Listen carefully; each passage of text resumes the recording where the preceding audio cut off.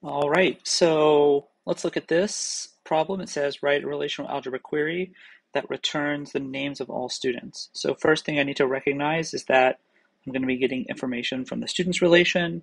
What information do I need? I want the name attribute. So I'm not subsetting the tuples, I'm just taking a subset of the columns or the attributes. So from the students relation, I'm going to just project out name. There you go.